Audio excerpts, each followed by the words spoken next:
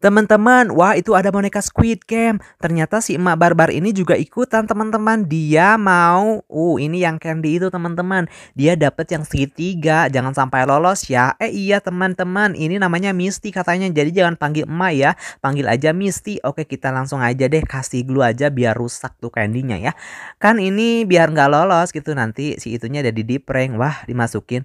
Waduh kasihan dia ketusuk jarum kayaknya teman-teman.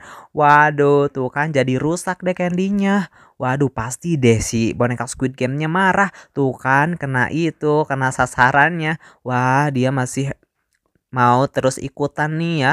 Kenapa kok dia agak nangis gitu teman-teman? Aduh ternyata ketusuk jarum nih teman-teman. Waduh oke deh kita langsung aja kasih hmm, kalau es nanti bi bisa meredakan ya. Oke kita kasih spirit aja deh teman-teman biar agak gimana gitu ngilu-ngilu gitu. Oke kita langsung aja kasih. Aduh kasihan banget ya tertusuk jarum. Aduh emaknya.